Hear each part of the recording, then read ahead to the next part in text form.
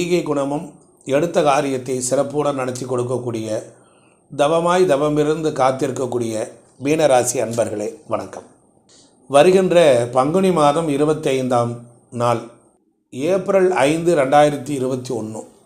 திங்கட்கிழமை அன்னைக்கு இரவு ஒரு மணி ஒன்பது நிமிடத்தில் குரு பகவான் அவிட்ட நட்சத்திரம் இரண்டாம் பாதத்தில் இருந்து அவிட்ட நட்சத்திரம் மூன்றாம் பாதத்திற்கு அதாவது மகர ராசியிலிருந்து கும்பராசிக்கு குரு பகவான் அதிசாரமாக செல்கிறார். ஒரு சிறந்த குருப்பயிற்சியைப் போல் இந்த அதிசாரம் நடைபெறும்.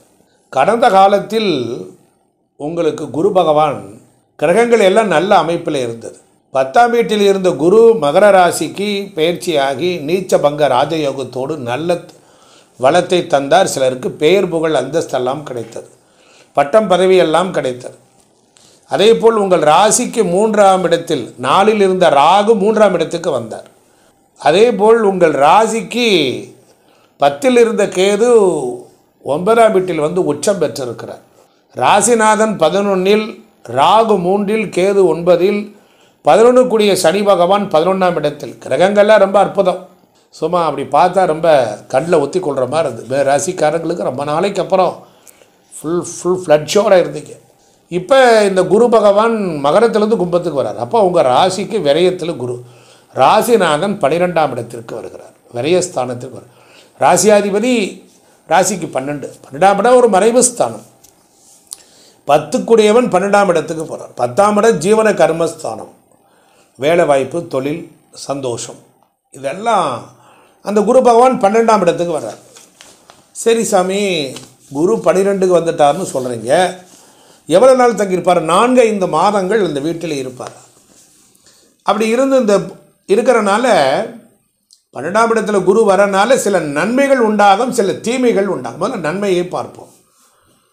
குரு நாலாம் வீட்டை பார்க்கிறார் ஆறாம் வீட்டை பார்க்கிறார் எட்டாம் வீட்டை பார்க்கிறார்.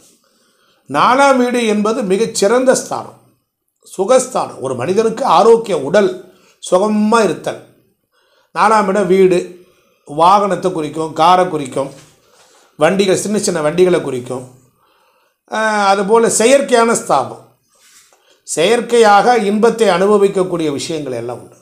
நாலாம் இடம் தாயாரை குறிக்கும். இப்போ தாயாருக்கு வைத்திய செலவு இருந்தால் வைத்தியம் சரியாயிடும். காரில் சின்ன சின்ன பழைய கார் வச்சுருக்கீங்க ரிப்பேர் ஆகிட்டு இருந்துச்சுன்னா இப்போ காரு வேறு கார் மாற்றலாம் வீடுகளில் பழுதுகள்லாம் வந்து சரியாயிடும். வீடு வாங்குறதுக்கு வாய்ப்பு. இப்போ வீடு வண்டி வாகனம் சுகம் சௌக்கியம் எல்லாம் கிடைக்கும். பெர்ஃபெக்ஷனாக கிடைக்கும். சரி அதுக்கப்புறம் ஆறாம் பாவம். ஏற்கனவே உடம்புக்கு முடியாம முடியாமல் இருந்தது. ஏதாவது வயிறு வலி அந்த கோளாறு இது பிரச்சனை. மருத்துவ செலவுகள் எடுத்து கொண்டு இருந்தீங்க கடன் வாங்கிட்டு இருந்தீங்கன்னா இதெல்லாம் கட்டுக்குள்ளே வரும். எட்டாம் பாவம். எட்டாம் பாவம் என்பது ஆயுள் ஸ்தானம். அப்போ உடலுக்கு சம்பந்தமான உயிருக்கு சம்பந்தமான கண்டங்கள் பிரச்சனைகள் இல்லைன்னா பெரிய கடன்கள் இல்லைன்னா முயற்சிகளில் தோல்வி அடைஞ்சிக்கிட்டே இருந்தீங்கன்னா இதெல்லாம் குரு பார்த்து அதெல்லாம் லாக் பண்ணிடுவார் சரி பண்ணிடுவார். அப்போ குருவின் பார்வை பெறக்கூடிய மீனராசிக்காரர்களுக்கு நாலு ஆறு எட்டு. உங்களுடைய அந்தரங்க வாழ்க்கை நல்லாயிருக்கும் உங்கள் உடம்பு நல்லா இருக்கும். ஸோ அப்போ பொருளாதாரத்தில் பிரச்சனை கடன்கள் கட்டுக்குள் வழி வேதனை கட்டுக்குள் இருக்கும். வழி வேதனை. இப்படிப்பட்ட நிலை. சரி குருவினுடைய பார்வை அல்லாது இருக்கக்கூடிய மீனராசிக்காரர்கள் ஐந்தாம் பாவத்திற்கு மறைவு ஸ்தானத்துக்கு வரார். குரு ஐந்தாம் பாவத்திற்கு மீனராசிக்கு ஐந்தாம் இடம். அது புத்திரஸ்தானம் குழந்தைகள் இயற்கையான ஸ்தானம் நல்ல ஜாலியாக இருக்கிறது. இப்போ உதாரணத்திற்கு ஒரு சின்ன குழந்தைங்க இருக்காங்க க- கல்லூரியில் படிக்கிறவங்க லவ் பண்ணக்கூடியவங்க அவங்களுக்கு அந்த ஸ்தானம் மறுக்கப்படும் காதல் துண்டிக்கப்படும். ஐந்தாம் பாவம் காதல் விளையாட்டு. விளையாட்டில் இருக்கக்கூடியவங்களுக்கு துண்டிக்கப்படும். விளையாட்டுத் துறையில் இருக்கவங்களுக்கு துண்டிக்கப்படும். பொழுதுபோக்கு கேளிக்கை கிண்டல் பரிகாசம் இது மாதிரி இருக்கவங்களுக்கு அது வாய்க்கு மறுக்கப்படும். அதுபோல் ஏழாம் பாவம். திருமணத்துக்காக காத்துக்கிட்டு இருந்து ரெடியாக இருக்கும்போது திருமணம் துண்டிக்கப்படும். திருமண வாய்ப்புகளில் இழுபறி நிலை ஏற்படும். பிரச்சனைகள் உண்டாகும். அதுபோல் ஒன்பதாம் பாவம் ரெண்டாவது குழந்தைகள் தெய்வீகம். சில பேர் செகண்ட் மேரேஜ் அதெல்லாம் கூட துண்டிக்கப்படும். அது வாய்ப்புகள்லாம் வர்ற மாதிரி வந்து தடந்துடும் என்னங்க நான் நேற்றுக்கு வரைக்கும் நல்லா இருக்குனாரு திடீர்னு இப்படி சொல்கிறாருனார் இந்த குரு வந்து அப்படி மாறிட்டார். இந்த டிகிரி வைஸ் மாறுறார். மாறும் பொழுது என்ன ஆகும்னா அந்த பாவங்கள் பலம் இழந்து போகுது. அப்போ பலம் இழந்த நிலை உள்ளவை எது என்றால் குழந்தை பாக்கியம் கருக்கலைதல் இல்லைன்னா வயிறு சம்மந்தப்பட்ட வழி இந்த மாதிரியான விஷயங்கள் குழந்தைகள் வகையில் பிரச்சனை. நேற்று வரைக்கும் பையன் நல்லா இருந்தான். இப்போ வேலையில் பிரச்சனைன்னு சொல்லிட்டு வந்து நிற்கிறாங்க அப்படின்னு வரும். ஸோ இந்த மாதிரி அறிகுறிகள் எல்லாம் தென்படும். இப்படிப்பட்ட மீனராசிக்காரர்கள் என்ன பண்ணுனா நல்லாயிருக்கும் அப்படின்னா நீங்கள் குருவை வணங்கணும். குருவை வணங்கணும் குருவுக்கு விரதம் இருக்கணும் குரு ஸ்தலத்துக்கு போகணும். மறைமிகு கலைநூல் வல்லோன் வானவருக்கு அரசன் மந்திரி நரைசூரி கற்பக பொன் நாட்டினுக்கு அதிபனாகி நிறைதனம் சிவிகை மண்ணில் நீடு போகத்தை நல்கும் இறைவன் குரு வியாழன் இருமலர் பாதம் போற்றின்னு சொல்லி குருவினுடைய மந்திரத்தை சொல்லணும். ஓம் பிம் சிவயவசி குரு தேவாய நம.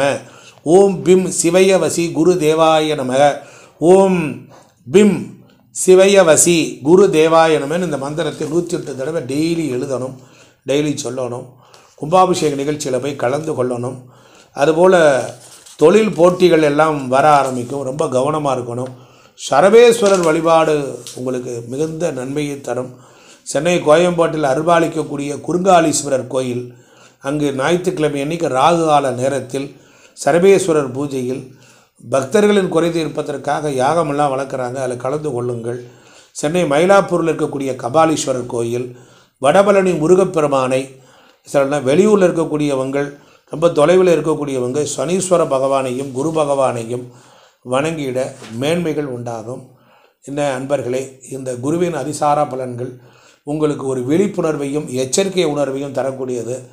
கண்டிப்பாக இந்த இந்த எபிசோடில் இந்த பன்னெண்டு ராசிக்கும் போட்டிருக்கோம்.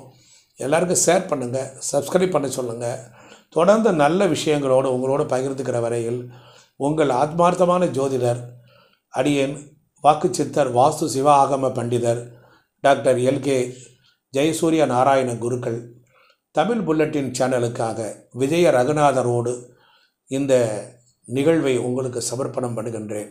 எல்லா புகழும் இறைவனுக்கு. நன்றி வணக்கம்.